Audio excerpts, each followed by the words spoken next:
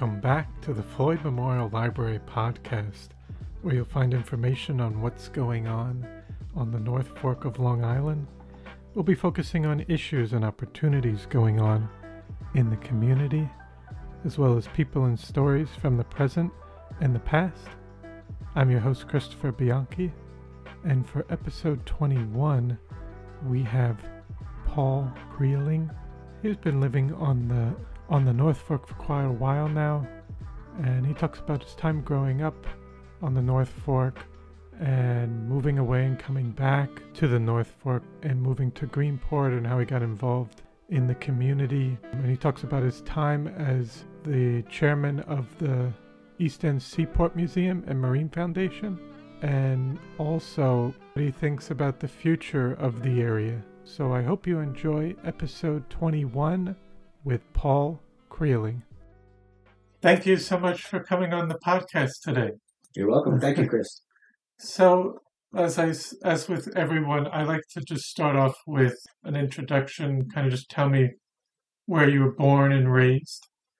Okay, uh, my name is Paul Kreiling. Um, I am a native of the North Fork, but not Greenport. I was uh, was born in Queens, but never remembered anything but Mattituck because I came out before I remember anything.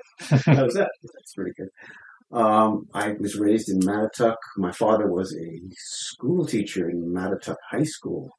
Um, he taught there for thirty something years. He's he's got some stories.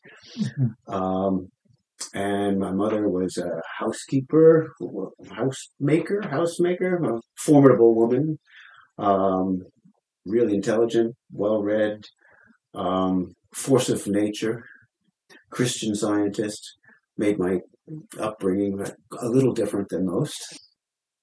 I would say my house was uh, sort of a house of letters. Uh, we had three sets of encyclopedias, and, and uh, generally thought the uh, the pun was the highest form of humor. So you can see the dinner conversations were all over the place. Um, they were into nature. Uh, they, my father was into preservation before preservation was happening. Mm-hmm. Again, very intelligent, well-read people. You know, not afraid to get involved.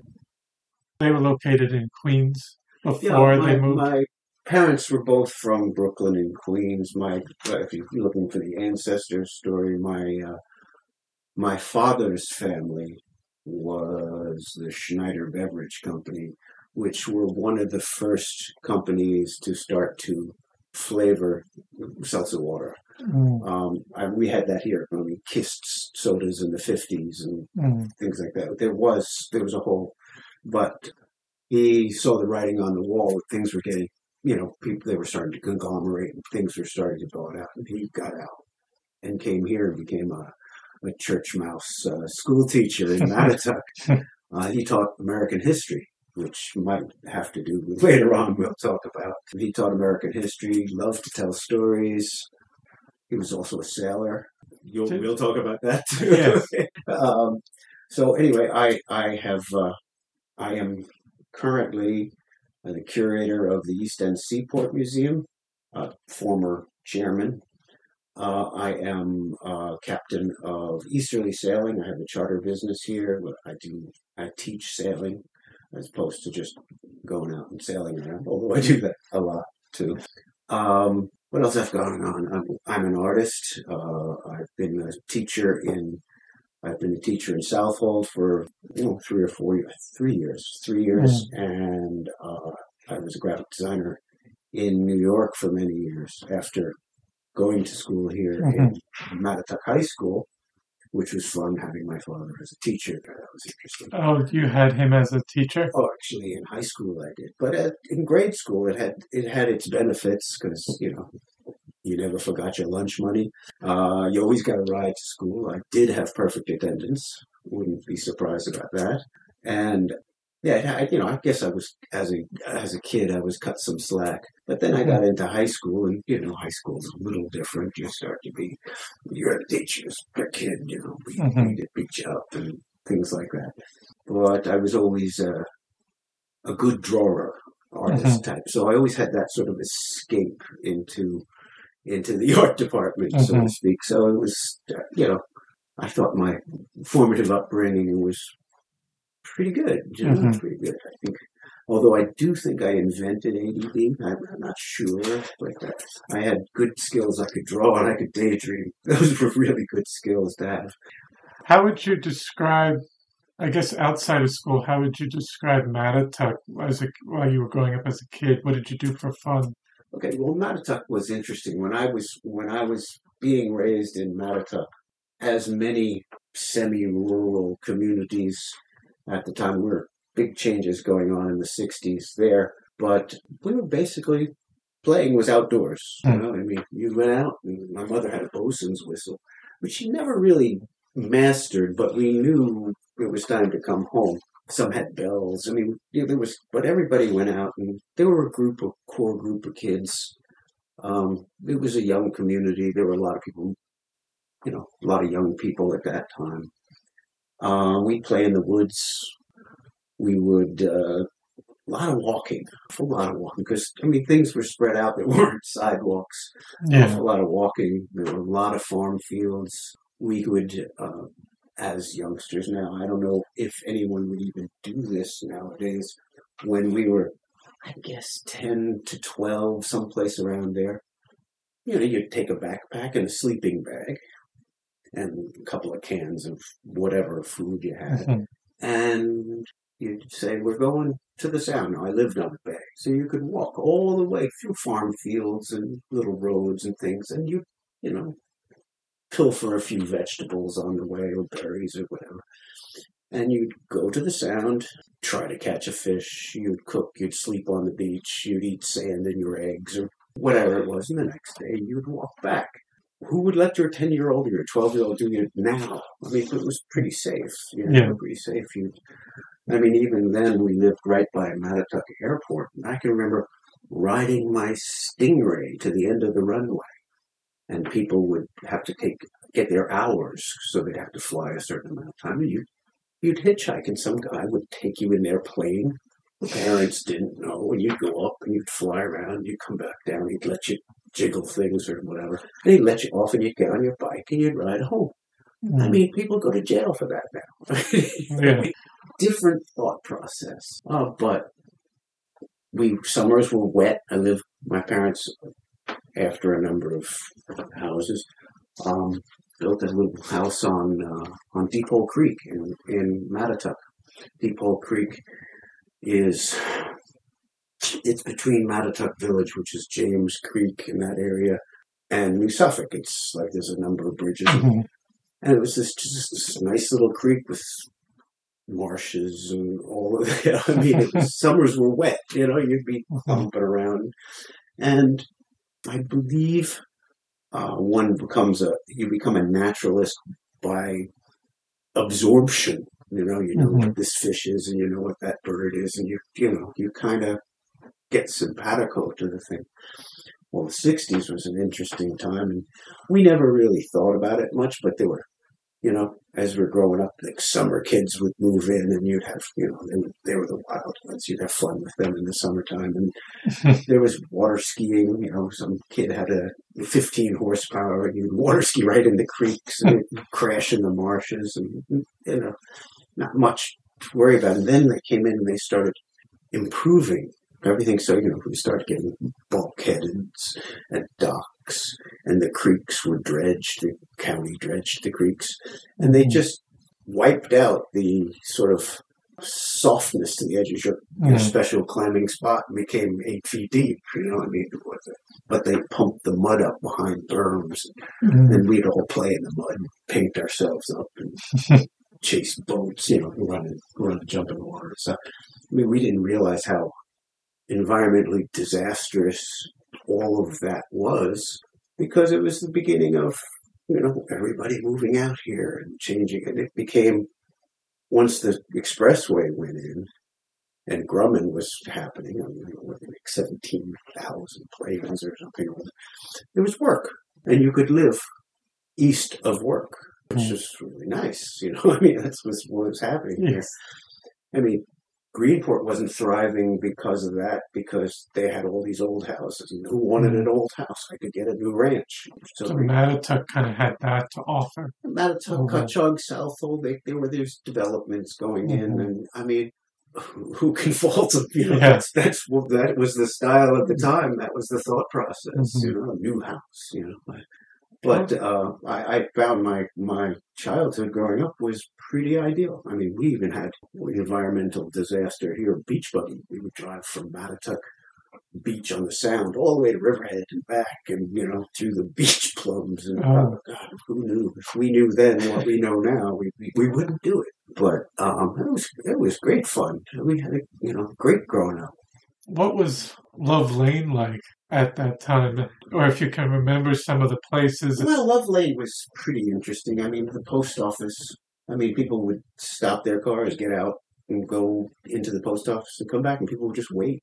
Know, it was a different. The hardware store was the center of the world there. That was still there on the corner. the, where sad. Or- Orlovsky's was, or whatever the Yeah. that was. I forget the name of it, but that was that was like you know that was where the guys stood around and talked, and the world Mhm. got saved. It was Dolly Bell lived in town when I was a young man. Dolly Bell, famous, I guess, Peconic Bay painter, excellent teacher of, of Alexander Graham Bell. That Mhm. that Bell, you know, didn't have to worry about money.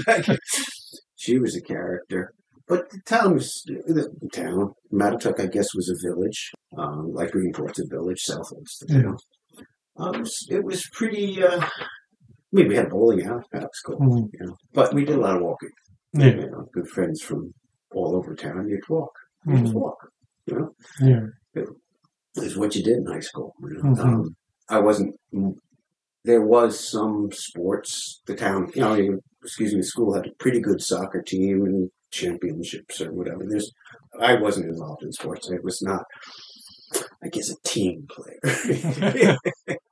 What activity? What, what activities or clubs or you said the arts? well, I was in. I, the art department was really. It Mhm. wasn't an art club. I mean, Mhm. we think of. We think when we think of art, we think of art clubs, and we think of yes, I was on the drama thing. Mhm. I made me cut my hair for a play. I was very upset. Um, yeah, it, it was a small town. I mean, I had. I think my graduating class was eighty, Mm, and I don't think they all made it. so it was. It was. I don't know really. The, the I don't remember the actual numbers, but we had art classes were all sorts of. We had you know farm kids, and we had we had. Uh, Like, was it? Did you have kids coming out from the city at that time? Not really. I, I don't think it was it was the I guess there were a few that came out, but it really wasn't it wasn't the flux that we have now. It wasn't Mhm. and, and we didn't really have we didn't really have uh, an immigrant population. We had we had I mean we had black people, we had white people, we had you know different nationalities, but it wasn't it wasn't it didn't seem that broken up. You know, it didn't seem In terms everybody- of like ethnicity or like Right, you it had was- there didn't Polish, seem to be yeah, Italian. or- Yeah, everybody, you know, everybody joked about the Polish farmers, and you know that that was stupid jokes. That was the Yeah. thing. It wasn't, but there wasn't. It was truly a farming farming community. I mean, my next door neighbor's father worked for Agway selling chemicals to the potato farmers. I mean, it was potato farms out here. We used to, you know, they used to spray the things with DDT, and we used to ride our bikes behind. I mean, you know, the way you think of these things that Yeah. you did as a kid, you know, spray for mosquitoes. Oh, great! You're chasing with your bike. Oh, ride with the car. you just, you, but you know, it was smoke. It was- Yeah. you, you didn't think about it, and, and that was uh, that was an interesting time because that was the transition from potato farming, which was huge out here. I mean, the Mhm. ciders and everybody was it was it was it was huge. They were king potatoes, and that changed with, I believe. I want to say the Transportation Act that happened in, I guess it was in happened started. There was one every every few years. There was a Transportation Act, but one of them is they built the highway system, and the highway system Oh. basically wasn't that Eisenhower? Yeah, the- Eisenhower built the inner. The, and then and then Lyndon Johnson. And the, well, well, that's when the expressway came in, but Mhm. also that also went all over the world, so all over the Mhm. country, so you could get Idaho potatoes for the same price as you Mhm. could get, you know, Greenport potatoes or whatever. And that started the tumbling. I think there was other. I'm sure there were more facts than I know, but that was a change, and that's when you know Hargraves came out and started the lines and. And people were now their their houses that they built in the '60s. Now their kids are growing up and now they're using it. Oh well, let's just move out there. It was there was a just a march of people, and with people come needs, and with needs come services. You know, and it cha- our economy changed dramatically. I mean, Mhm. just that's that's the one thing that changed out here. More people, and you know that's what changed. before the, well, I guess you were still pretty young when the Long Island Expressway. Well, Long Island Express. When I was a kid, I can remember we'd drive to we go see my grandparents on Sunday who lived in Kew Gardens, and we'd have Sunday dinner, and then we'd drive back and be late at night, and then exit seventy. All of a sudden, it's like the lights went off and the roads disappeared. It was, you know, and then it was my dad driving, trying to stay on the road. What about the the Long Island Railroad? Would you take that in? No, well, actually, that was an interesting time with the Long Island Railroad because of because maybe because of the expressway and the car and Mhm. all of those. The Long Island at one point, the Long Island Railroad stopped coming to Greenport. I mean, There Mhm. was a whole road and rail thing. I, I'm not. I'm sure that Don Fisher has more facts than I do about that. But it stopped for a while there, and it was there was a bus. You take a bus to Ronkonkoma, and then Yeah. go from there. But it, the whole North Fork was changing. Mhm. It was changing from agrarian to a suburb, basically. I mean, it, that's we'd love to say, oh, we live in the country, but I mean, Greenport Village is a planned town. It's got a planned village. I guess village, I guess village. It's got Yeah. X's, you know. Yeah. so first, second, third, you know, somebody made a plan there, and uh, unlike most of the other villages, I think Amy touched on this a little bit. The roads going all over the place. I mean, this was a pretty forward-thinking village. I mean, we had a power plant and we had sewer and water, and I, I mean, that's pretty forward-thinking. Mhm. You know, I mean, and they're still working. Mm. That's that's a that's a wonderful thing. I left when I left. You know, after after high school out here, everybody goes to college, and like the brain drain that was out here. I mean, I'd say I went to school, in New York State School, as far away from here as I could. I ended up going to Fredonia, which is as far as you can go in New York State, north and upstate. north and west. You know, Oh. north and west. Which, interestingly, was wine country. Who knew I Yeah. fell into the same thing again. But uh, I studied art there. It was music and art school, a state school. Was that something you knew you wanted to do coming out of high school? You wanted to go into the arts? I was, I, I was, uh, I was of mixed thought processes. I would, you know, I mean, of course, the the romantic part was be an artist. That was wonderful. But I also really, really enjoyed science, and Mhm. that's and it was really good. I mean, uh, this is this is a little bit of urban myth, but I was the only one in New York State who got a hundred on the biology regents when I took the. I mean, that may be a lie, but I'm sticking with it. I was, you know, I was throwing it around whether I could, you know, I could draw a little amoebas and I could draw little stuff. I could work for Woods Hole and go that route. You know, Mhm. E- both routes didn't seem to be. I was not headed for fame and fortune. Either way was going to be a struggle. But I went into the arts because well, I had a good portfolio and I could, could go into the arts, and I did. And I studied fine art, um, printmaking, and photography. And uh, after school, as most people do, you come back home. But before, I think you mentioned before that when you when you were going off to college, you you wanted to leave. You wanted to get as far away.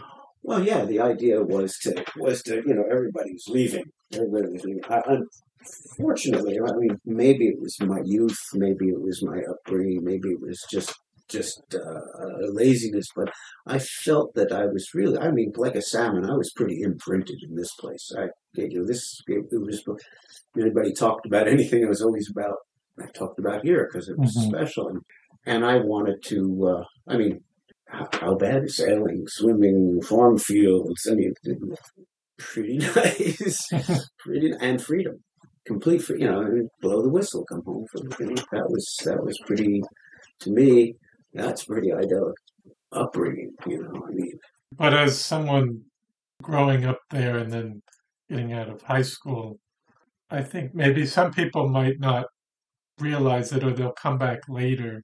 They'll eventually move back later, but they want to change coming out of high school, maybe. You know, it wasn't it wasn't so much run away. It was run to something else. I wanted, I wanted a bigger experience. I wanted to, you know, the idea was, oh, I'm going to go to New York City and be a famous artist. I mean, that was the, that was the myth that everybody had. And, you know, you read the books and, mm-hmm. oh, Paris, you know, all of that stuff. And, I mean, I was underinformed and over enthusiastic about my, uh, what you could do as an artist and uh, and how much work it took. Mm-hmm. what you, you know, you don't get something for nothing.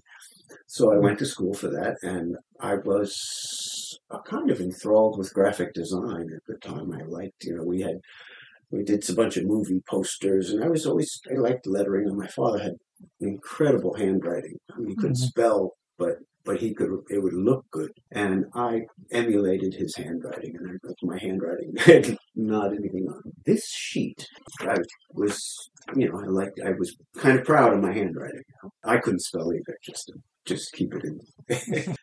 But i ended up doing some posters and things like that but didn't really think about what i was going to do for a living. And I was a pretty good illustrator, and I had gotten a few little jobs illustrating. I you know, so I was all cocky about that. But you know, what do you do in between? You know. So when I came back to uh, from college, I uh, I got a job on the Mattituck Traveler Watchman. It's no longer here, but that was in, oh, the that newspaper. Was in the newspaper in Southold, and I did all the ads. So I was typing out the little things and gluing and pasting and waxing and pasting them together and doing the ads and spelling them poorly. And that was that's all that's time consuming. It was time compared consuming. to now. Well, yeah, but but that's how it was done.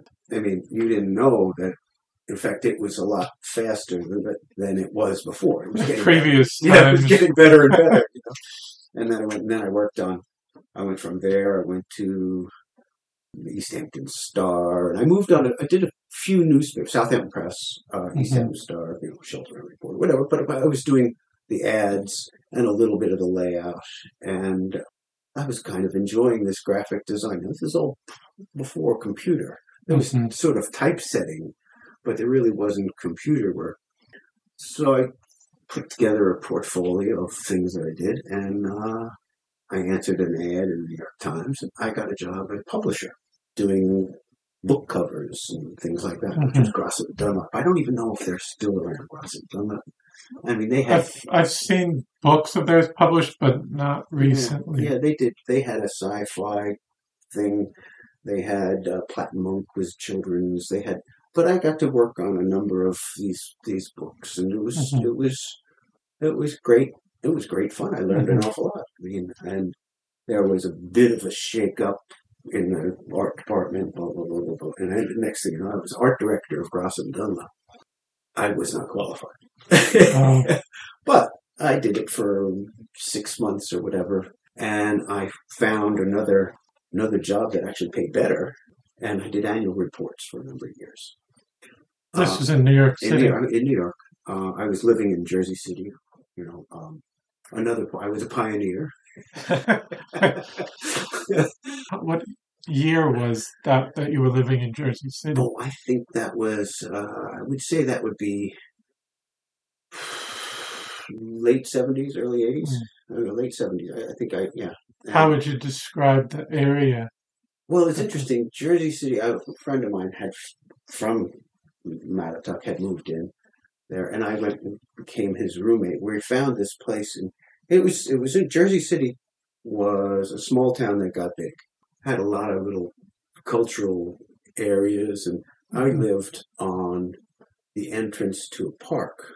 So it was quite quite grand, overgrown. I Mhm. mean, my uh, let's say my building used to have a doorman. it was one of those, those pre-war things. I mean, we had a we had a frame, no awning, but we had a frame.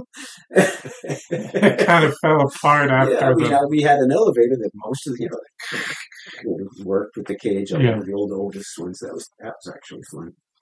Uh, but I lived on the edge of this park, and I walked a mile to to the station, and then took the fast train to New York. And anyway, so I worked in I worked in annual reports for a while, and uh, I actually having coming I coming out on I would come out on weekends, and uh, I had a car that. Uh, Let's just say was broken into so many times I just didn't even lock it anymore. Wow. it was just just the radio was gone. Didn't matter, just drive it anyway. And um, I'd come out I'd come out on weekends and I actually met a young lady out here and I, I married a lady from Southold, a local woman, and we moved back to the city. And uh, at that time, I decided I decided to go off on my own. It was the eighties. It was the Mhm. this is now this is before computers. So once you first to do that, you had to have a whole network of people, the typesetters and printers and all, all of these people. You had to have this, and I had kind of set that up already, just from working with annual reports. And um, I met with a group of designers, and we opened a sort of a collective, and it was pretty interesting. We all got work, all different work. I mean, there was industrial work, there was theater work, there was uh, I had uh, catalog work. Well, we did all sorts of sorts of things. I mean, I designed the 92nd Street Y logo. Who knew? I did uh, the original City Harvest logo. I mean, at one point, I was doing posters for Twyla Tharp. Now, this is in the, this is in the Xerox machine. Yes. and and this was the the inkling, the beginning of computers. I had Club Med for a client for a year. I mean, it was, Oh, wow. it was, uh, I had some pretty, we had some pretty, I mean, I wasn't doing the top, top stuff, but I was doing their support stuff. And You wanted to get. You wanted. It was kind of nice to do this other collective instead of working for annual. well, it was a way of being independent and still having a support group. I mean, Mhm. everybody, I was, I would do the paste up for a friend of mine who had that, or he would do the paste up for me. Or, Yeah. I mean, we were, we were, you know, I, I would run messenger. I would be a messenger. He would be a messenger. Mhm. Um, but it was pretty good. We had a full dark room. Mhm. We had a full floor on Gansevoort Street. Boy, do that now. Gansevoort Street, second floor on Gansevoort Street, home of the meat packers and transvestites. It was it was an interesting Mhm. time. You know, the gutters would run with blood, and uh, and that was from chickens.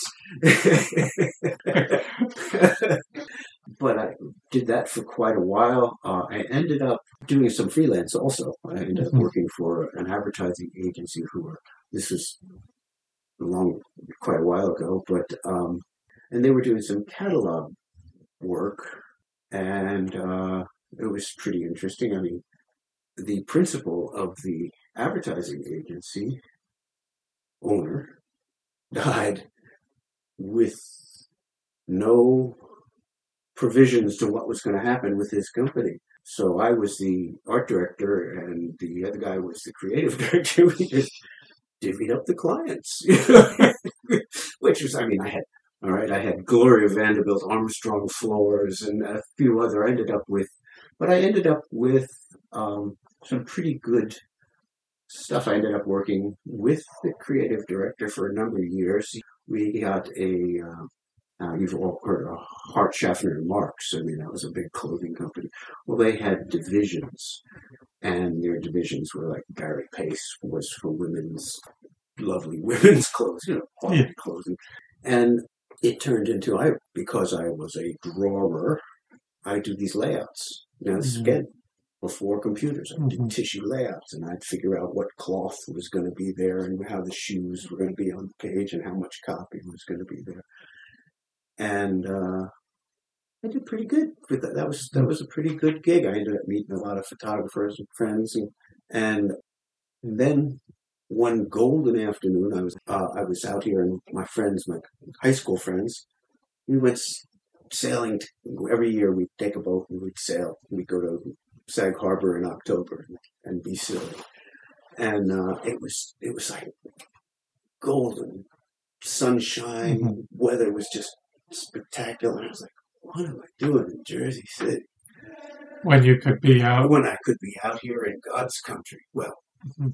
You know, everybody thinks phone, fax, and FedEx. You know, oh, yeah, we can do this. Uh, well, I, I closed my business, and uh, at, at, that point, I had I had like almost seventeen freelance employees. I mean, we had a lot of mm-hmm. people. It was a busy organization. Well, I stepped out of the organization.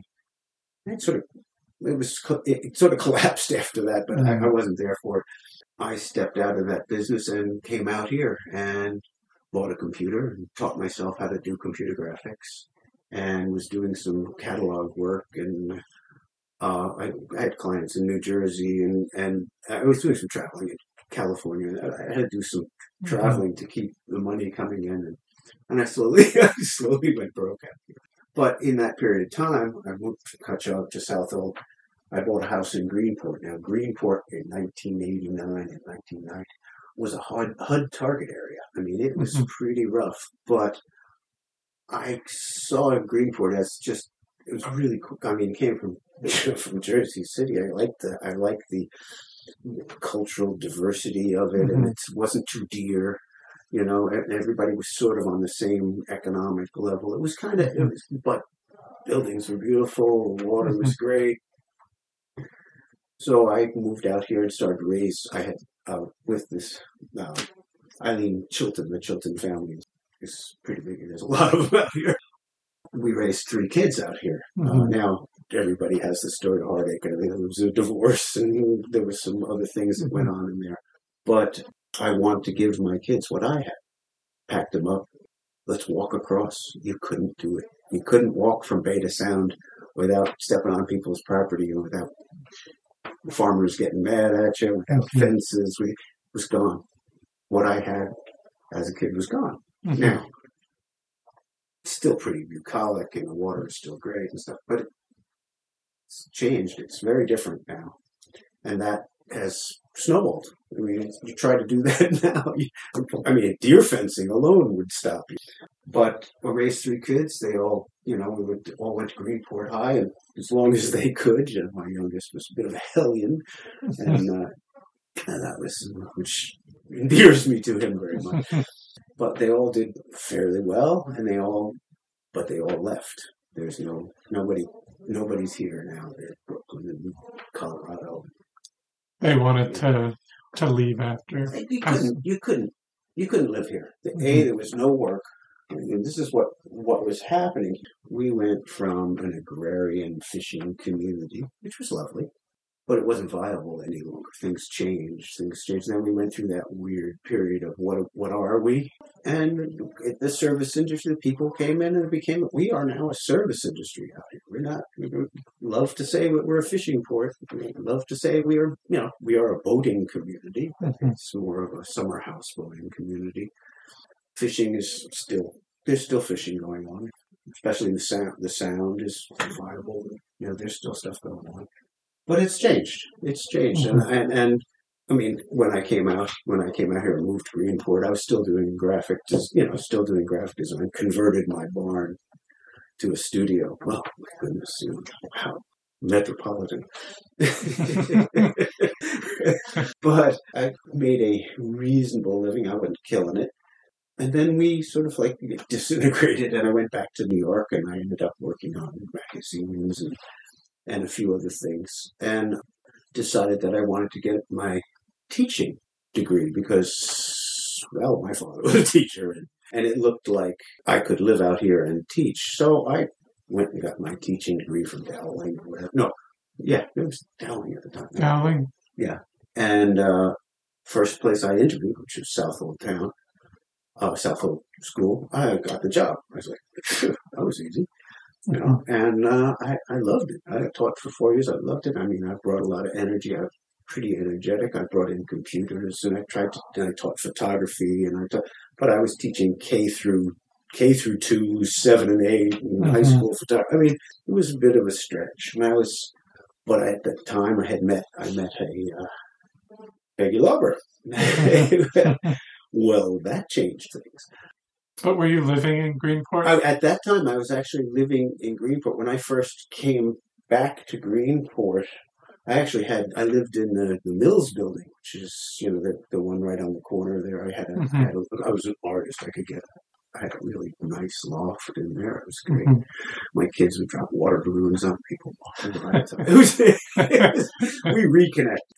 No, I was I met Poppy Johnson there, and she was living in the building. So it was it was it was an interesting time. I mean, I had hmm. I was using I was doing catalogs at the time. I was using Greenport as a location for photography, and you know, it was sort of we stayed at the Silver Sands. I mean, it was it was pretty fun. It was pretty fun. But as I became a school teacher, I could, I couldn't afford that. I bought I rented another little place, and that's how I met Peggy in the neighborhood. And uh, I taught there for a while, and I took then I took a summer job because you had summers off, working at uh, what was Brewers at the time. No, Brewers. Brewers Shipyard, Brewers Yes. Yacht Yard. It was Brewers. Now it's Safe Harbor, but it's the same physical plant. And I loved working on sailboats. And I became, you know, I could play with sailboats. How cool Mhm. is that? And I was probably making the same amount as I was making as a teacher. but I went. Then I, I, I made the. Uh, I went back to school full time to get my to get my master's, and uh, left the teaching job. Well, there was a little window there. It was tough to get a job. I ended up, you know, it's like interviewing and interviewing and like, uh, you know, Mastic Beach and things like that. And I was like, no, I kind of, I was kind of spoiled teaching in Southold. I really don't want to. I don't want to be a behaviorist. I just want to teach art. So I stuck with the shipyard for quite a long time. Very interested in the maritime. I mean, you're in the water. You're sailing around Greenport. Greenport's fascinating from the water. I mean, Mhm. it is. You walk around, you see all the cool houses and stuff, and you think history. Go out on the water. I mean, it's things falling down, and docks are changing, like Mhm. you know, dentures. But that was that was pretty neat. Greenport was in a place of change. That everything was changing. I mean, Mhm. it was. I mean, the, the Mitchell Park was being built. I mean, there used to be Kokomo's there. I mean, when I first came here in 1990, I guess it was a blight, but I didn't really think of it as a blight. The sun was shining and the water was sparkling, and you know, Maybe compared to Jersey's. but I always, but I, but I always, I mean, I don't know. You, you walk into Clark's yard, you, you go. I've always liked the the rough edges. I mean, there's something charming about that, and, and that, that you you feel history in your hand. And that's mm-hmm. probably how I got involved with the the museum. In fact, it is how I got involved with the museum. I would sail. I would sail all the time. I mean, I had a boat, blah blah blah. Fix up boats and you sail them and sail them and sell them, and and it was it was good. I mean, it wasn't I wasn't killing it, but I had a new girlfriend and I was happy. it was all good, and uh, uh, and uh, I would sail past Bug Light, and I was like, Bug Light, what cool? What's you know? I was here in 1990 when I I stood there and watched them launch it onto the thing. I had no idea. I mean, I had no connection beforehand. I mean, Greenport was where you go when I was a little kid. You'd go to Brandy's Shoes and you get Buster Brown's. That was Greenport for me. I mean, you know, Myers Bar if you really go to the dark side. Mhm. Um, but I had no real connection to Greenport when I first moved here. I got I got a connection very quickly. I mean, Greenport was trying to come back. I don't know if any of you, if you remember. I had like one of my first jobs was, was for the was for the uh, the Rotary. I did a map of Greenport, the enamel enamel steel map. You know, Mhm. put them around the village. I did these little drawings. It was, I mean, I did a walking tour of Greenport. I think they still have it online. All those little Oh. drawings. Those are mine. That's what I. That's Wow. And then there was First Night in the nineties. I guess it was in First night? or that was 2001. I think 2001 was first night. That's Mm. when they had the, you know, that's all the Christmas decorations, the Mm. shooting stars and the boat. They were all made for first night. they had ice sculptures, and it was a it was a, a, a non-drinking New Year's Eve that everybody all the shops were open and every I mean, they did that for two years. I did all the posters and stuff for that. I mean, I was did the artwork. I wasn't the one organizer of it. Mhm. So anyway, so the we go. I do. Uh, I go and I'm selling past the lighthouse, and the lighthouse is looking a little, you know, a little sad on the corners. And I'd like to get involved to fix that up. That would be great. You know, it'd be like feather in your cap, you know. And I said, well, the museum, you know, I think the museum owns it. Uh, that was the East End Seaport Museum That's the East End Seaport Museum and Marine Foundation. and Marine. Don't forget the Marine Foundation because that's going to come into play in a little bit. well, I went into the museum and it uh, had a sort of a dusty mausoleum quality. I mean, they were doing they were doing stuff. They, were, Mhm. they had displays up and things like that. And they were telling stories. But I, coming as a graphic designer from blah blah blah, I had a bigger vision right away. Mhm.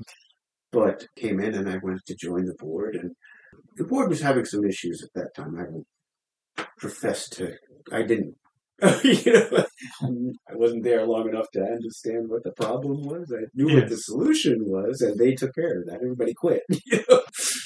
so I sort of like didn't get my hand down in time, and I became the chairman of the board, Mhm. which was kind of interesting. Well, chairman of the board was kind of interesting in an organization with, you know, like no checks and balances. I Mhm. mean, I mean, I was first. I was a little flabbergasted. Like I was like, "Oh, what? I've never done curating. I've never been a museum person. I've never, you know. I mean, all right. My father was taught history. Great. I don't know how to tell a story, but I was like, what am I going to do here? You know. So, the first thing I did was I took everything off the walls and I painted all the walls. I figured start from zero. You know? I mean, it's pretty. It's it's pretty incredible to come into a village and, um, you know, from what everybody knew me, I was a sailboat guy. I was a sailor artist guy. I mean, to be given the keys to a old railroad station, historic building that is a museum, and the keys to a lighthouse. I was like, oh, how lucky am I? you know, thank you very much. This is this is this only hurts when I breathe. Um, I was like, okay, well, I'll do something with it. And I was, I just ran at it. And then I ran at it as hard as I could, you know, and uh, tried to tell. I said, well, we got to have a show. What's the show? Well, I went and I went to the archives, and I was like, duh. Uh, what does this mean? You know, how, Mhm. we've heard the stories of bunker and fishing. I you know, we know the stories, and there's stuff up there, but it wasn't in wasn't in presentable form. There was a lot of like, where does this go? Was it organized or just kind of stored? Um, well, there was there's a there's a number of systems to, you know, you guys got the Dewey Decimal System, and I believe Amy talked about this. Well, there's a there's a program. Well, garbage in, garbage out. If you know what I mean, you can assign a number and you can assign it, but if you don't know what it is, it's like picture of boat. Mhm. in where is it? It's in pile A on the shelf. There's pile A. Well, the pile has fallen over. Somebody has gone to you know. It was it was okay. There was an awful lot of forensic work, Mm. lack of a better word. Maybe forensic wasn't the word. Exploration. But the first year I was there, I said, okay, well, first thing we have to do is we have to make ourselves this is with the, the you know we actually we had to off, I had to get a friend to join the board so we'd have quorum so I could get elected as chairman so it was, it was pretty rough but the museum has had some hard times and some things disappeared and let's not you know not, I'm, I'm casting no aspersions because it's a wonderful organization Mhm. um, but I didn't know how to reach out to the community. So I said, well, I'll just say, okay. What was a pivotal year? You know, uh, I'm sure everyone in the viewing audience uh, knows of that one postcard of Mitchell Park with all the wooden boats in it, and Yes. you know, that that that sort of semi-colorized. Sort of, I looked at that and I said, "Well, this is a really good starting place." And I said, "Oh, 60s. Okay, this is the 60s. This is what this place. This is Mitchell's burned down in 73 or 76 or someplace in there. I mean, Mhm. there's, but 1960s. Wow, wow. 1960s. That had a good. That has a kind of a cool look, cool bathing suits, and you know, you know, cool boats. And and I said, all right, well, let's reach out to the community and say, where were you in the 60s? So I put together some ads, and I had an old Evinrude ad, you know, going with the water ski, you know, that Mhm. kind of like we're trying to evoke a little response. Well, I put that out there, and it was like radio silence. I was like, oh no, what am I going to do? But then it started, and I called friends, and just, and that's, the next thing you know, I've got, you know, gasoline signs and clothing and cypress garden water skis and more fishing lures than you can shake a stick at pictures of people water skiing and stories Mhm. little stories, little vignette stories, which I find really evocative. I mean, if I go to a museum, I like the little stories. The little stories are fun because you're only there for a little bit, absorb a little thing, come back, absorb something else. That was, that was the idea. So, anyway, so I put this show together and uh, it was pretty well received. You know, I, I mean, I started to. One of the things was kind of interesting, and this is last year's um, uh, Grand Marshal was was Skip Goldsmith. Well, I went to Skip Goldsmith and I said, you know, got any motors? He's just thinking, you know. Well, he goes, oh yeah, come with me. And he goes, we walk into the back of his, and there is like, oh, there's all these, all these All motors. there's all these, they're all work. They all and I was like, wow. So borrowed two little stands and two little motors, and we brought them there, and we put them in the museum, and it was like grand opening. All the guys were standing around talking about the motors. you know, it was. You know, it turned out to be a pretty big hit. So. If you go to the East End Seaport Museum and Maritime Panda, you will see a collection of motors that were all gleaned from local people's basements and things. I just called around and people just said, "Oh yeah, I got one of these. I got one of those," and they tell stories about them and things. And so they lent me these motors, and I put them up, and um, it adds a certain.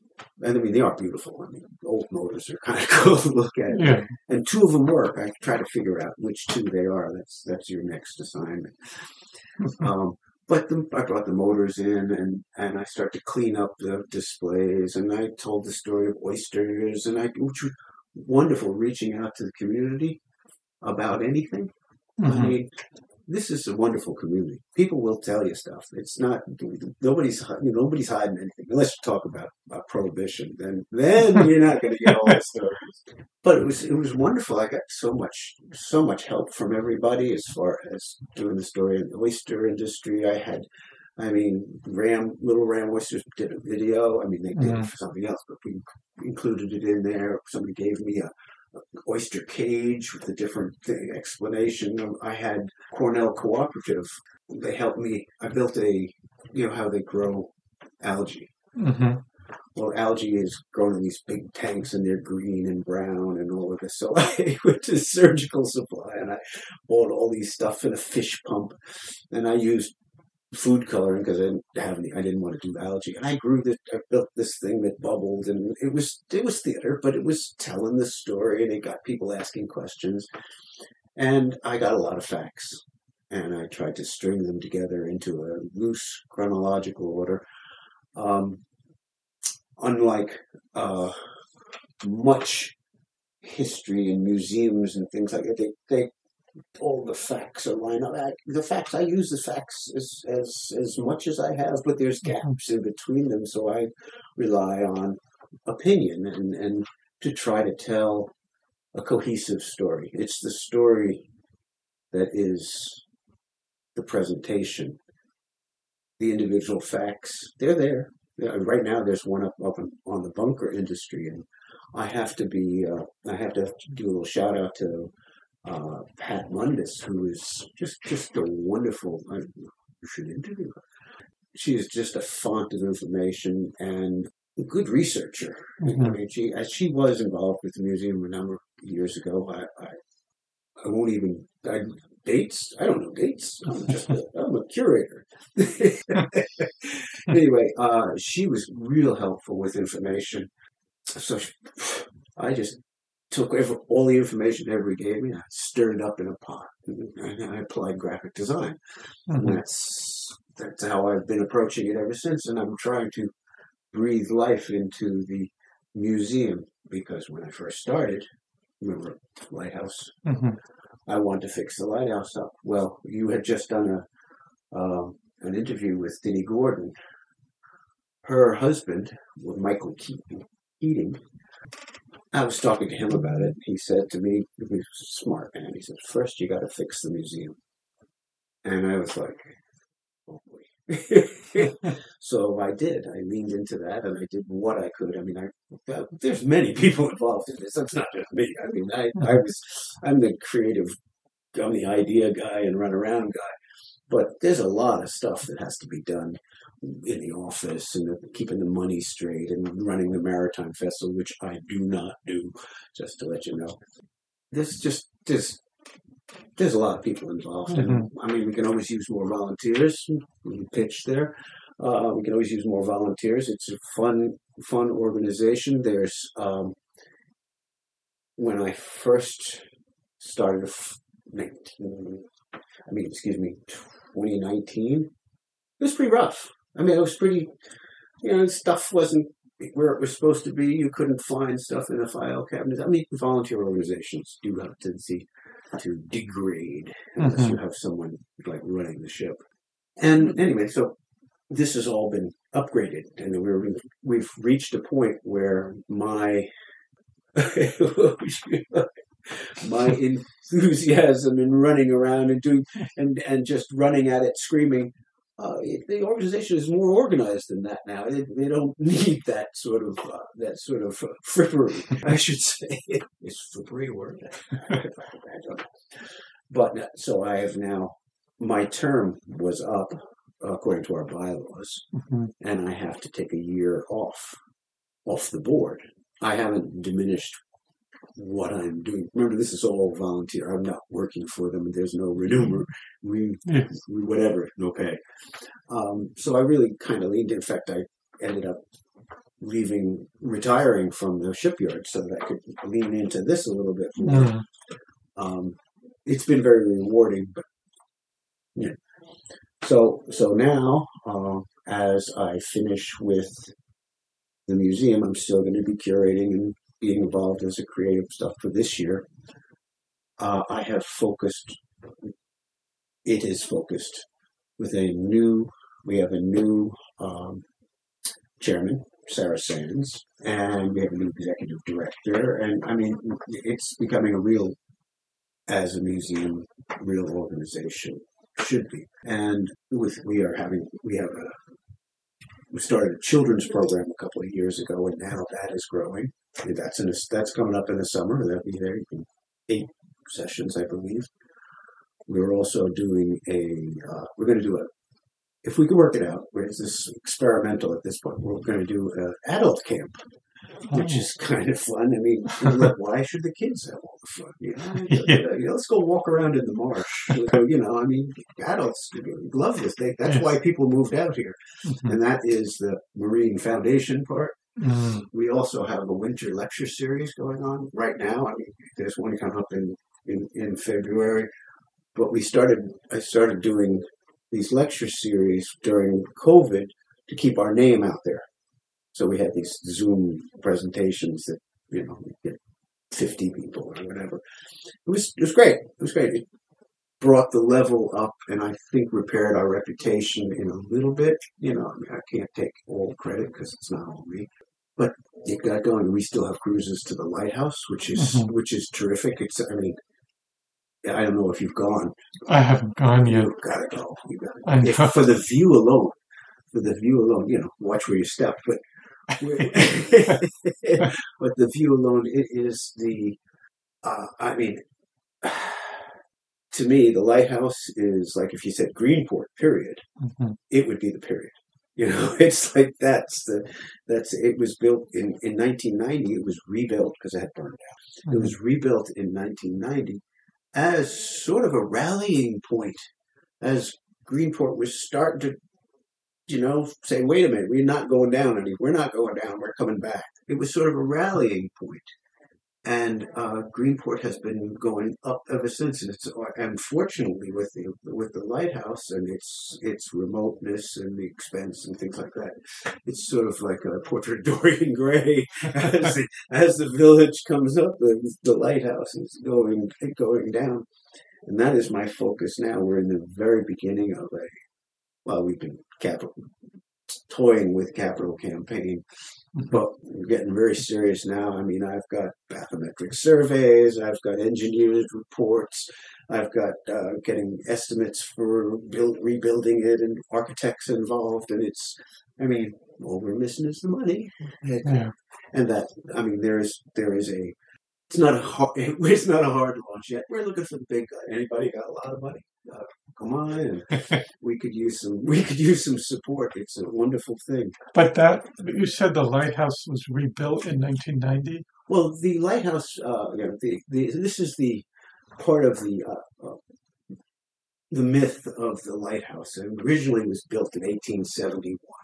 Eight, now, 1871 was an amazing time in in uh, American history, Industrial Revolution. Mhm. I mean, we had the train out here in the, in the 1840s, and Mhm. that, came out here. So we were a transportation hub. People would Mhm. take the steamers and they'd go to, well, they'd have to go past the, the sandbar there, and, and and we had, I mean, this is when the you know the bunker industry was happening. Whaling had finished at that point, 1860s. Whaling was done, but there was still an infrastructure for the, Mhm. for this that was here that was thriving and boat building, and it was it was it was a real. This was a city as far as I mean, small, but but but it had all the bits and pieces. It had boat building, and it had it had uh, fishing industry, and it had uh, farming and transportation, and there was a whole schooner trade that went Mhm. around. I mean, the coastal schooners. That's I mean, we were almost more connected to Connecticut than we were to New York, just because it's Mhm. closer. Yes. But but there was a whole bunch of there's a whole you know I mean a whole bunch of people had these founding fathers so to speak. They were making all the money because they were the traders you know I mean names of names of streets and names of uh, you know or named after boats. And um, people made a lot of money now the same people who made money from whaling were you know the bunker industry came in and the bunker industry was a big deal. Mm. it was a big this is when they started pressing it into oil because this was i mean shelter island shelter island on the the east side of shelter island was a lot of processing plants you Mm. know and, and then they built the big one on on long beach that big one they built that big fertilizer plant that was they squeeze the oil out and then they take the fish and they would mix the phosphate into the fish and it would go on a ship Mm. or on the train.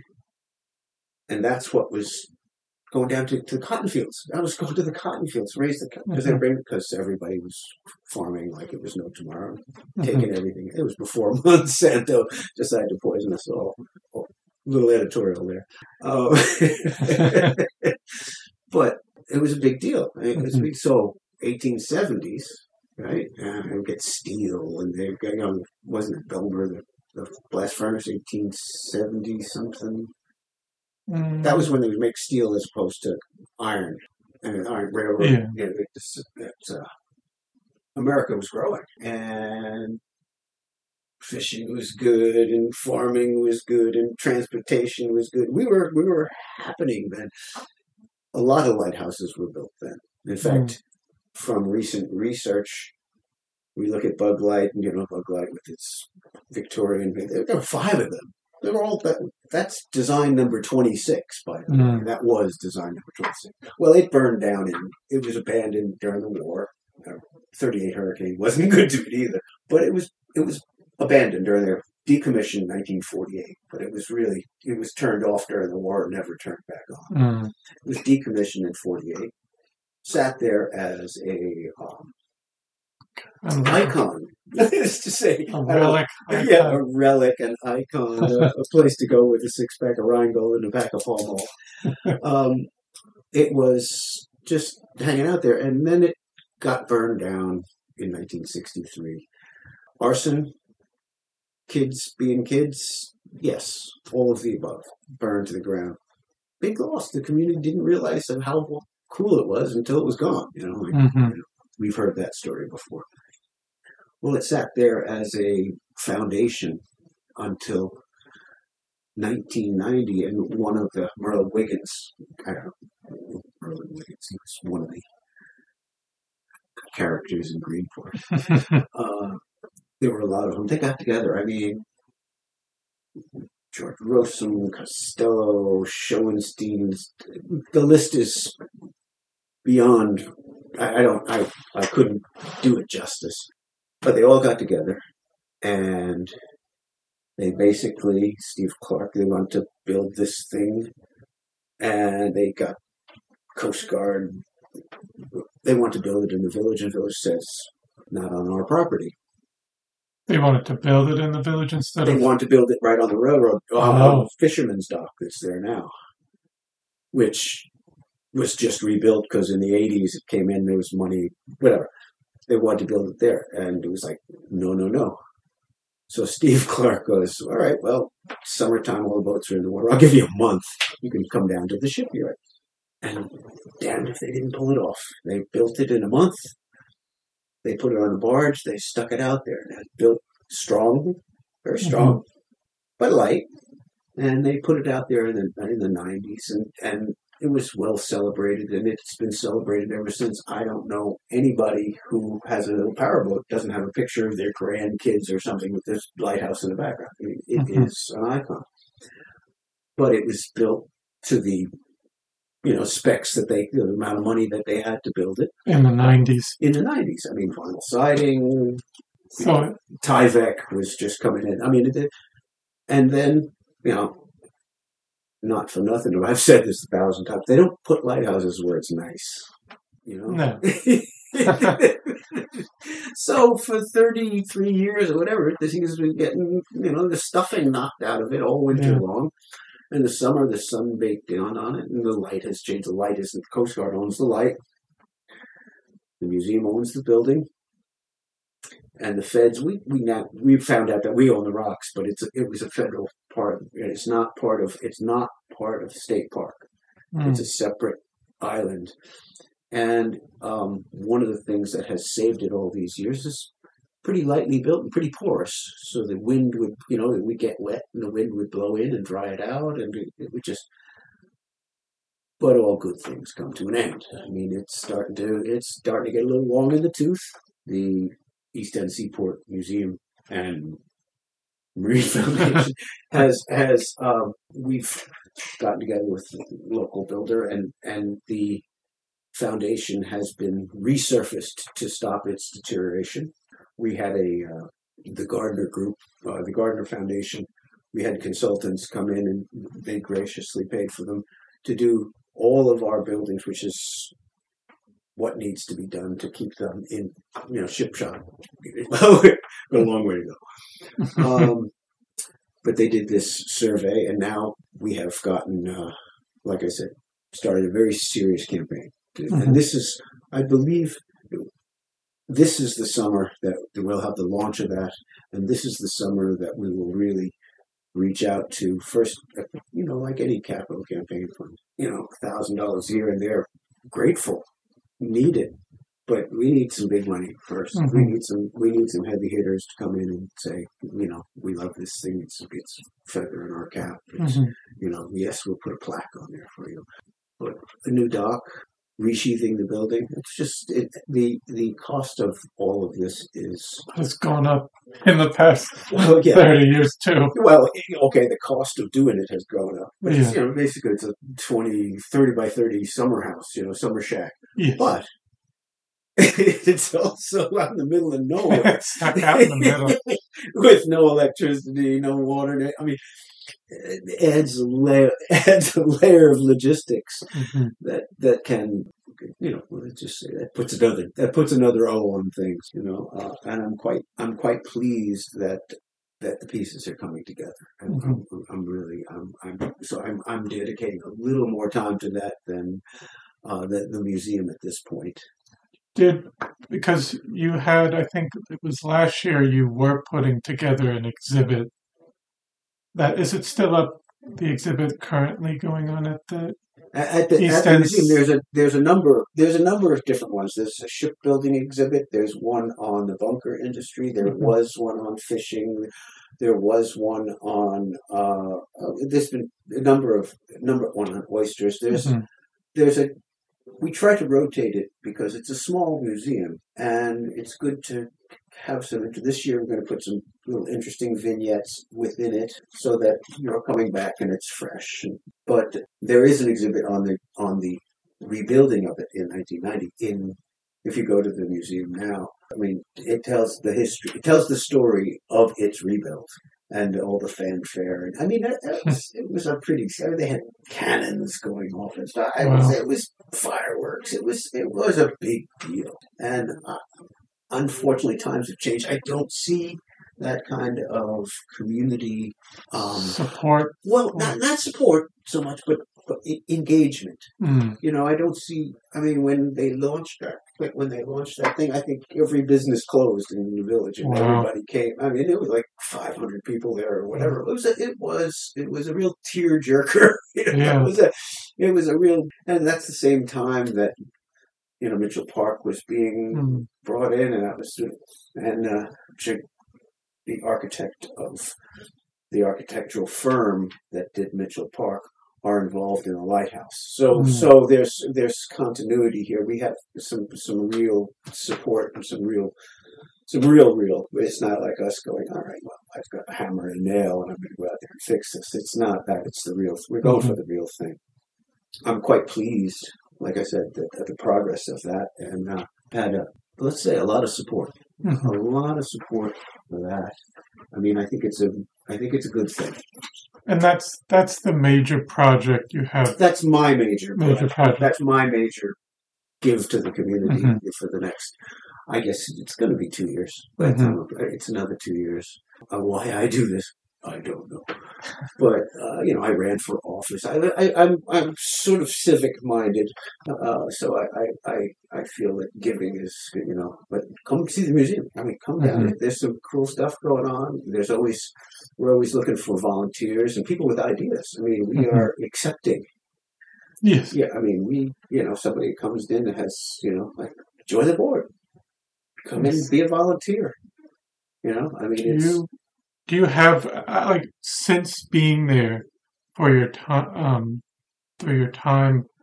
Do you have a favorite exhibit that you've had that you put together that you can think of? Yeah, actually, I do have one that I like. We have had, and when I got there, we had a carpenter's toolkit. hmm And there it was, sitting there, and had a piece of plexiglass on top of it, and there was a model on top of that. And I was like, what's, what's in there? So I took the model off, and I went to move it, and it was so heavy, I put a big scratch in the floor. I was like, holy mackerel, what's in there? So, I mean, being alone in the museum with Mhm. no checks and balances, I said, well, let's see what's in here. So I started taking tools out. And it was like a clown car. The tools kept coming out and kept coming out and kept coming out. And I couldn't believe, now I knew why it was so heavy. Mm. All of these, I mean, there were beetles and there was saws and planes and there was just full full of these tools. And now I got them all out, and it's like you know, sort of like Jenga, you know. It's like, oh my god, what am I going to do with all of these tools? And I said, well, let's display them. Mhm. Well, um, being in the art field, I'm always interested. I'm always going to different museums and things like that. And there was this one Mexican artist. Uh, I can't remember his name right now. Anyway, he did an exploded view of a Volkswagen Oh, with all.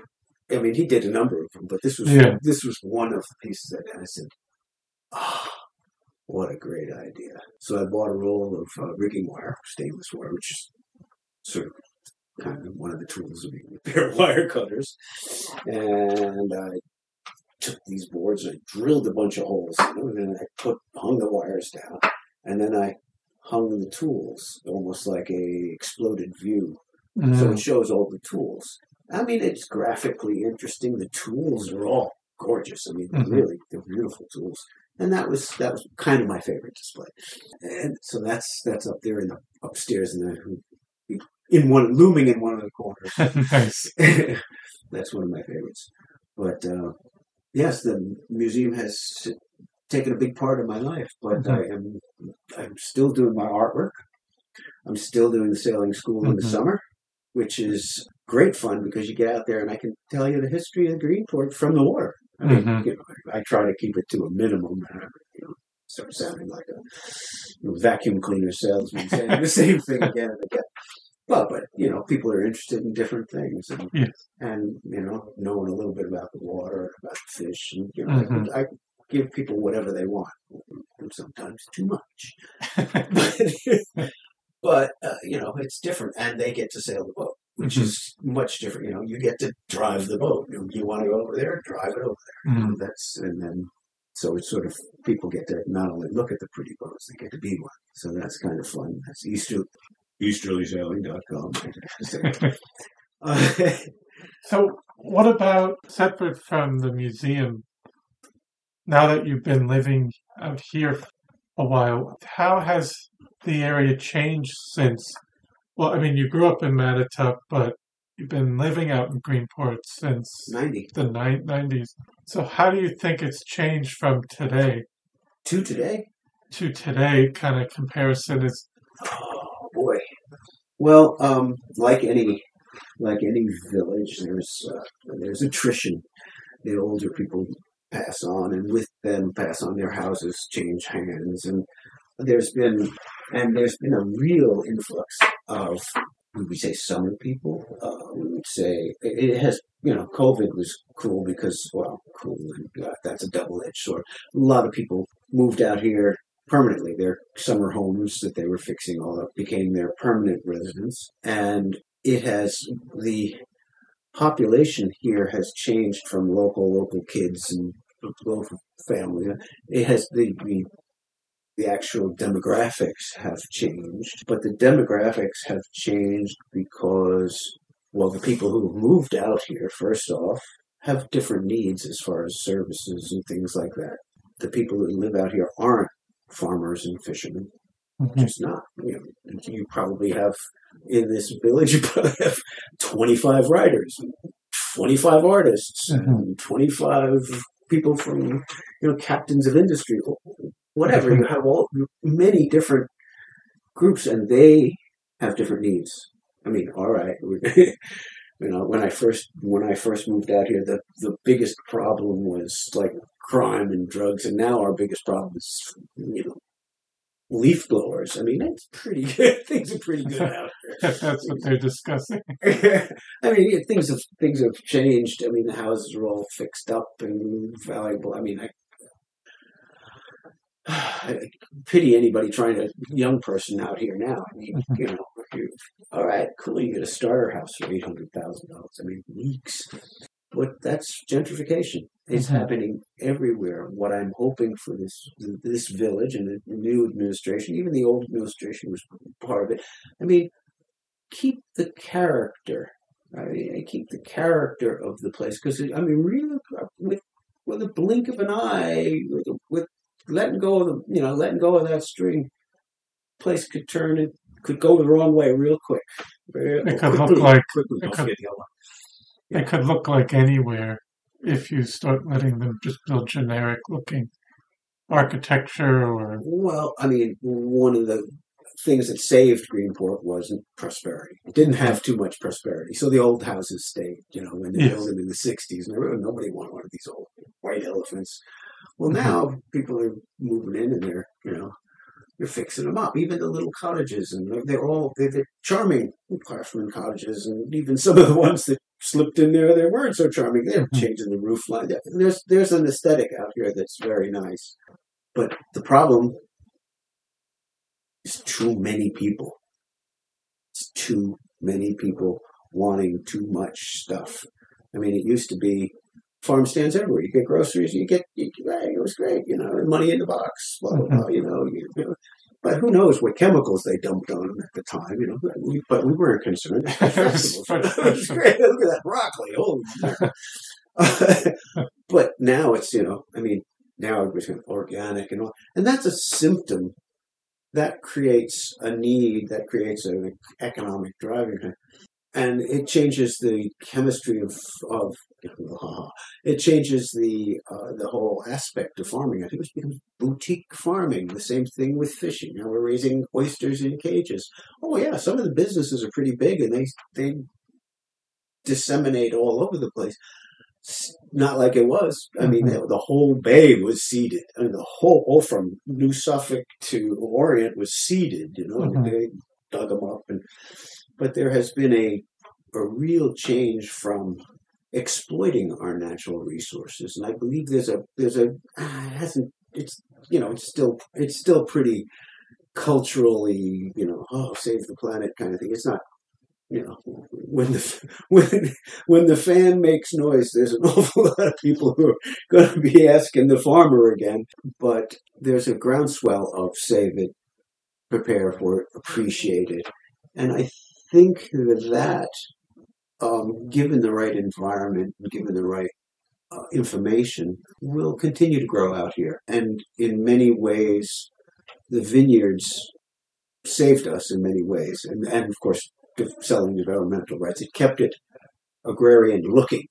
Very few of the uh, vineyards are, if they didn't have agritainment or whatever you call it, uh, very few of them would be make a living from their wine. So we have become a service industry out here. Everything is geared towards come look, come play, leave your money, go away. you know, it has that kind of feel to it. but people are just not going away. They're, they're staying. After they get a, Wait a minute, wait a minute, you're supposed to go. No, people people are staying and um, appreciating it and trying to make it their own. And this is where what's wonderful about the museum is it gives people, even though it's most of the stories that the museum have, maritime, Mhm. anyway, I imagine, I imagine an agrarian would have that too. Exploiting the area. You're exploiting.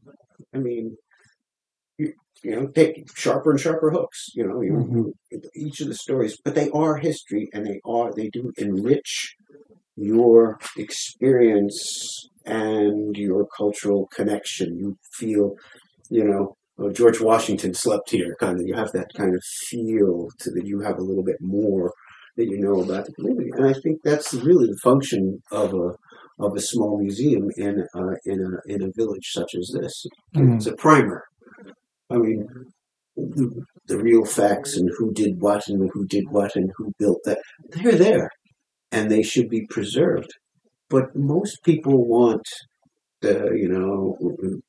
You stabbed it with a knife, and it the bear. the bear left his marks on the tree. You know, people want that Daniel Boone story. I mean, we need that urban myth to grow. I mean, uh, just think of all the stupid stuff that we did in America. I mean, Daniel Boone, you know, Davy Crockett, and Paul Bunyan.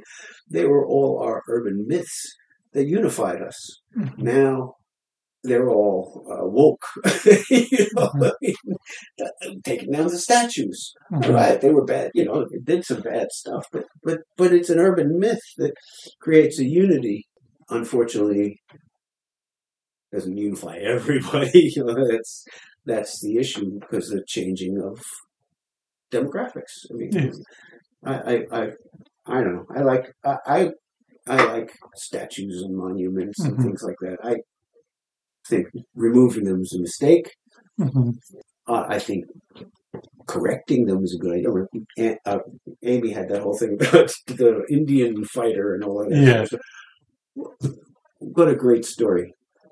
put another plaque underneath it, the real facts, or, or, or Yeah. you know, just, just, you know, I mean, I just, Well, a lot of it, I think people have some anger, but it, it there's a lot more. It's not so simple as just oh, take that down and we'll be done with it. There's whether the it could be that some of them had still did a lot of good for the community or other things. Like it's always a complicated thing that it's they just people might want to just simplify. Well, they did this, so yeah, That's well, a- that's that's that that whole. I mean, just think of what happened. All of the, uh, all of the actors and things, and people that were just like, oh man, they they they're people. They're you know they're actors.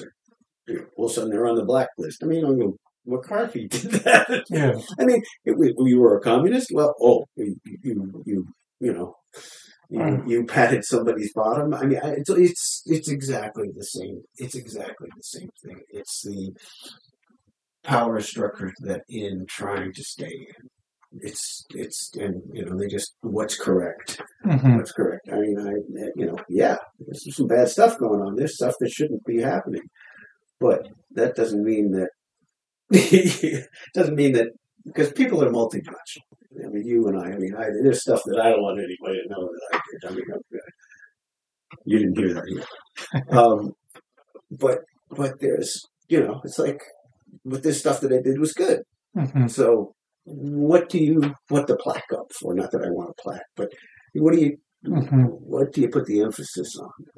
And that's Yeah. that's one of the one of the interesting things about this research at the museum that I found it. It's if you look at, you know, the fortunes were made. Well, you know, the old fortune crime thing. You've heard that.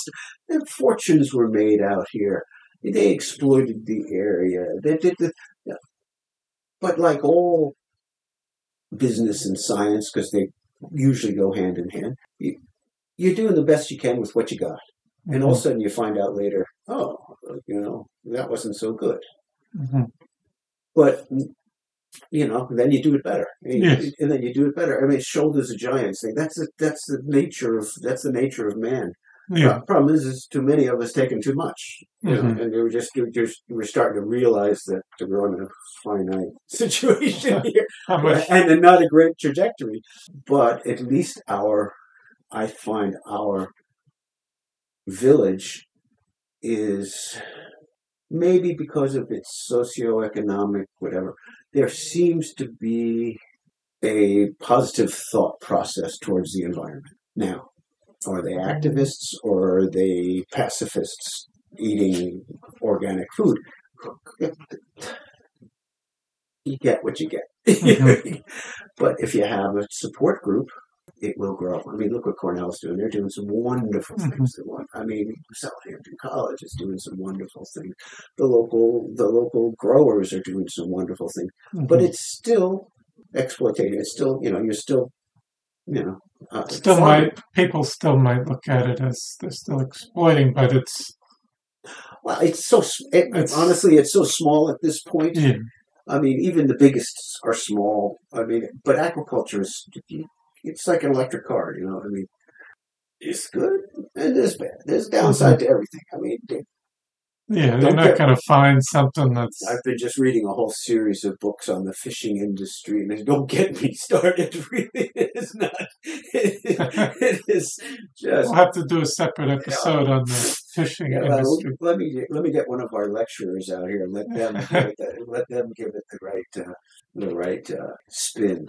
Mhm. but it's it's amazing. Uh, I mean, I, what we have done to our, you know, I mean, I have uh, my de- my screensaver is a picture of, uh, of uh, uh, Rachel Carson, just to let Mm. you know.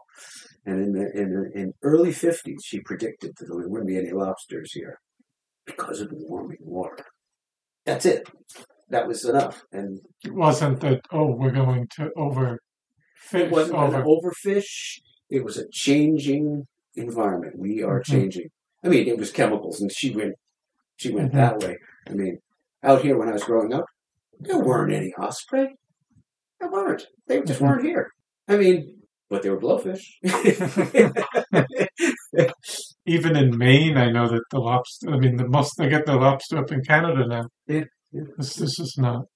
And the funny thing is, they, they, they, we always think of lobsters. Oh, they put the cages down, and they just all those crisp things are crawling on the bottom. Mhm. They bait those traps. They have to bait those traps. Where do you think they get that bait from? South Carolina bunker industry. they used to be here. so hey, you know, it's a Yeah. vicious cycle. yeah. yeah, it's it's kind of it's kind of, I mean, and they're farming. I mean, they mm-hmm. they are taking everything they can possibly get. Now they have a limited season, and they have they have an interesting way of regulating themselves. I mean, I'll let somebody else discuss that. I was just reading about that. It's pretty fascinating. they have an interesting way of doing it, but there's no way that we're going back to the little farm, all the little agrarian farms that you know, 30 acre holdings, which is what was out here. Mhm. 30 acre. You know. The reason is didn't have any irrigation. What are you going to do? You couldn't grow more than you could. Now you have irrigation. You can go 100. But anyway, Yeah, but was the, and then was there anything else that as we I asked you about the change, but like cur- currently right now, do you see anything like top three issues or priorities that you feel Greenport should be addressing? I know you mentioned it's expensive for oh, The that's, housing- That's, that's a that's a symptom, not a. Uh, that's a symptom. Uh, the things that things that we are not addressing: garbage, sewage, just too much hand to man. I mean, Mhm. I, I have my wife. As you guys know, everybody knows that Mary Peg. She does the. Uh, she's with Audubon Society, and and and they, Southold Town has done a number of parks, and there's Suffolk County has done a number of parks, and there, and all of these are wonderful. But what land is it? Mm, you know, all of those areas, there there is no first growth anymore. There's not even, I think, not even any third growth anymore out here. Everything, all these parklands and stuff, are all put in places where it was too hard to develop. mm, You know, it's like it was too hilly or it was out of the way, or little too marshy. Or, too marshy or too. And I have noticed that we have rising sea level. Rising sea level create water weighs a lot. Right? Mhm, It pushes down and it pushes and it pushes the water table up. So mhm, all these woods are, are kind of the marshy woods are all dying because they're getting feet wet and they're Mhm. falling over and stuff. like I mean, there's a number of things going on. Change is happening. Change is constant. Um, one of the things I liked about this village was, and if you go to the museum, you'll see it. I have a bunch of aerial photographs of this village. I mean, if you did this in a time lapse thing, it would be like uh, it would, be, the docks would be crazy out here. They'd be there, gone, yeah, back. it was just too. It yeah. would be. I mean, the place was alive with industry, and everything was moving, and things were moving around, and it was it was pretty incredible. That change is Mhm, constant, but it reaches a point where I mean, our village. There ain't nothing natural about our village, is there? You know, okay, you get the sand to go down to the beach, to the water in a couple of places, but there's very little nature. here. mm, We have parks, we have trees that we plant. All of these are excellent, not natural. mhm, All these parklands, they're wonderful. They put the path through there, and you can go through, and you can walk through, and it's all very nice. But nature needs to be left alone. mhm. Just needs to be left to do what it does. and a lot of the farming was here. Even the the inlet pond was was that I think that Peggy said that was a farm.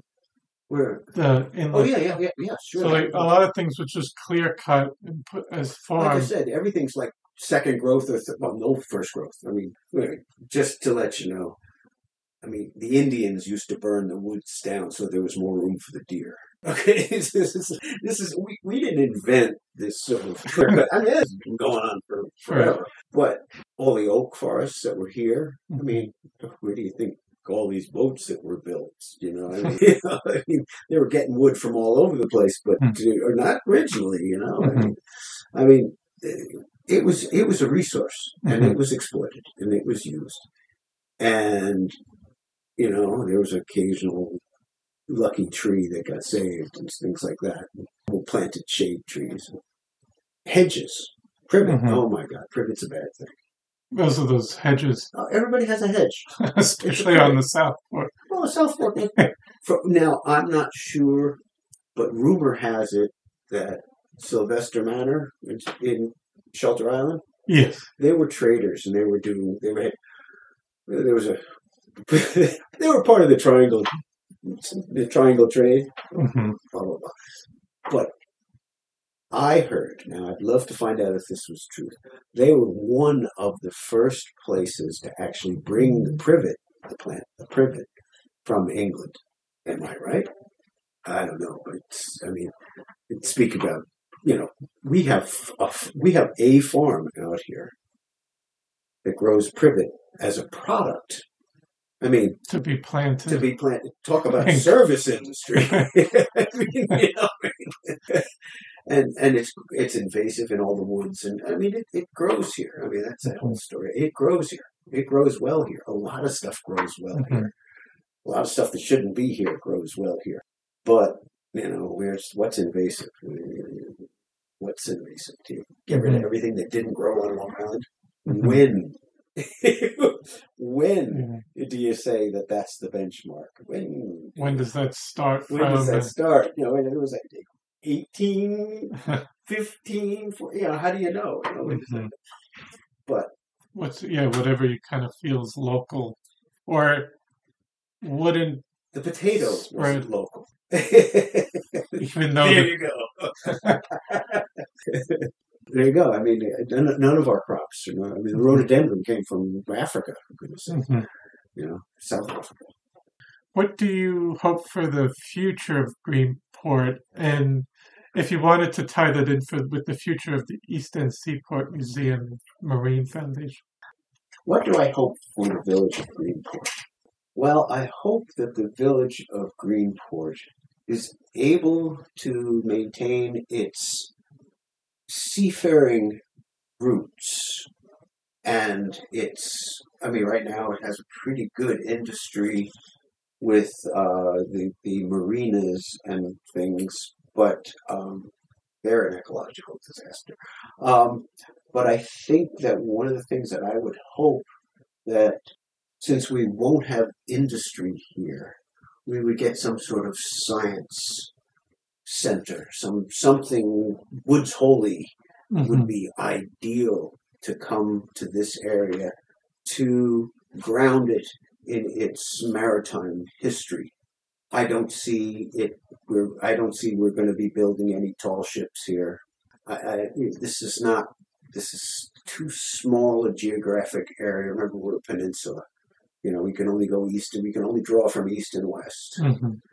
I'm hoping that we could do some marine center or something along that line to ground us. And um, I'm hoping we just don't lose our sense of full community, meaning workers, service, owners, visitors. I mean, Mhm. the, the, the whole thing has got to work because if it becomes only a tourist place, it's you know it's another t-shirt shop on the edge of the water. You know, I mean, Mhm. it's not you know it, it's not sustainable, and the people who come here don't really care about it like the people who live here care about it. And I'm I, I kind of hope.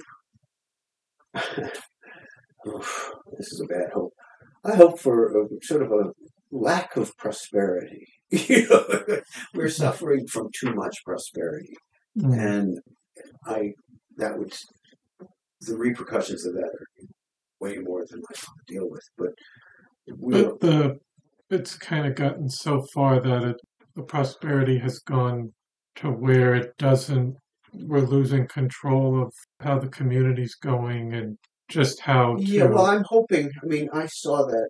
I remember when I ran for office a long time ago. I wanted to get in front of the development and what was going on Mm. because what was happening is we were not. We were a small town.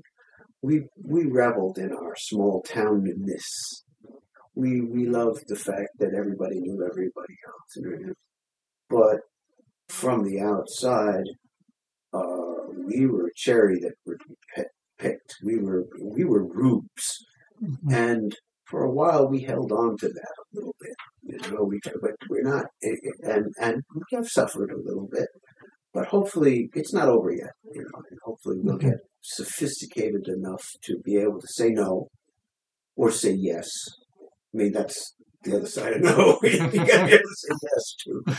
Um, I hope I hope that our village can uh, weather the weather prosperity and be uh, part of the environmental solution as opposed to um, observers. I mean, I just just I mean everybody's doing their part, but it ain't enough. You know? And I don't know what I don't know what enough is. Mm. I, I, I have a water bottle here that's a plastic water bottle that will be recycled, but that's not the that's not the that's not enough. Well, I, I, I want to thank you so much for coming in today and thank you for your involvement in the community, especially in the East End Seaport Museum and Marine Foundation. And, I like that. Keep that in. and that's uh, the future. yes. Oh, definitely go check out the museum. And when does it open? Well, the museum usually uh, right now it is. We're going to start earlier in the spring this year. I think. You know, I mean, I'm not on the board, so I can't make a Mhm. decision, but I can. I can offer my influence. Mhm. Um, museum is up and it's. I haven't torn the displays down from last year yet, so it's still there. I mean, you could get a peek. Go in. check out. Call, call, call the museum. It's four seven seven two one oh. I got to go six three one. Dating myself, not putting that on there. call, see if you can arrange a visit. If you can get a group of people together, turn it in. You know, that'd be great. Mhm. Go take a look. They'll turn the lights on for you Yes. it's a, it's a, it's a, it's kind of fun. Again, I, I, I, I'm reaching out for volunteers and for docents and for people who have some information and have some stories to tell. Bring them down. We could, I mean, any input is great. It's not like we have an archive full of things that we're going to pour out and can't run out of. I mean, there's, there's, you know, seven or eight stories about Greenport, but it's really the people Mm. the people is what made Greenport what it is, and and that I find is what is really interesting about the village because it's it's it's a real it's a cast of characters out here. Yes. yes, we've been out on the peninsula for a long time. so yes, thank you, Chris. This was Oh. great fun. Thank you very much. Well, I hope you enjoyed episode 21 with Paul Kreiling. I want to thank you so much for listening to the Floyd Memorial Library podcast, and we'll see you next time.